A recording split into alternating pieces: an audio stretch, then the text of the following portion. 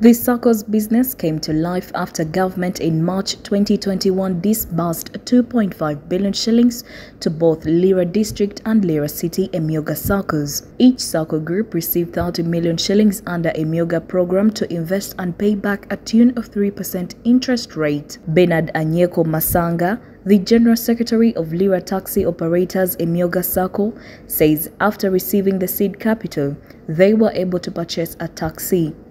The decision was reached by the SACCO members during the annual general meeting. From the initial seed capital of 30 million shillings wired into the SACCO's account by the Microfinance Support Center, the SACCO has grown to a current loan portfolio of 72 million shillings as Anyeko narrates.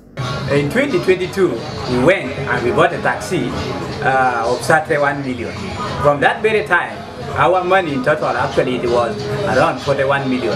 As I talk now, uh, our money grew up to 72 million cash, whereby now we can say that we are now progressing very well. Patrick Oyet, a member of Lira Taxi Operators Emyooga SACCO, borrowed 1 million shillings from the SACCO to repair his grounded vehicle. He is now able to look after his family. But as I got Emyooga uh, uh, money, it supported me so well. Right now, as I talk, my vehicle is on board.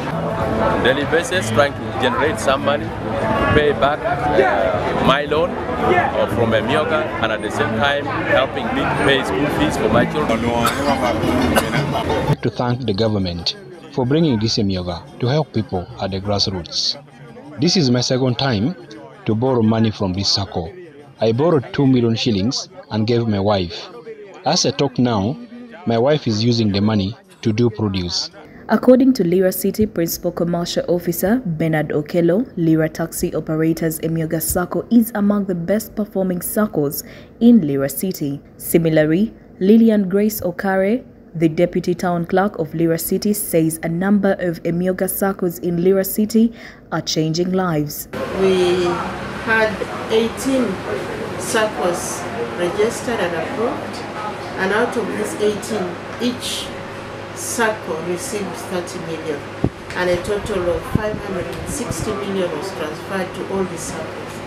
But today we want to say that we have very good success stories. Lira City Mayor Sam Atul says from the 540 million shilling seed capital wired to Lira Municipal SACCO's account, the money has grown into over a billion of shillings. He warned sabotagers against discampaigning the government program. They only prefer telling people it is failing. Which is not true. There's a woman who got money under Myoga who had only one sewing machine. Now she has eight sewing machines. That's a success story. A Emyooga was launched in 2019 by President Yoweri Kaguta Museveni as part of the broad government strategy targeting to transform 68% of the homestead from subsistence to market-oriented production with the overall objective of promoting job creation and improving household income.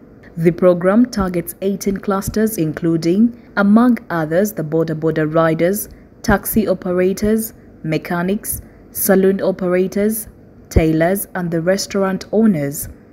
Emyooga miners, a wide range of other poverty alleviation programs among them Operation Wealth Creation, Youth Livelihood Program, and the Uganda Women Entrepreneurship Program.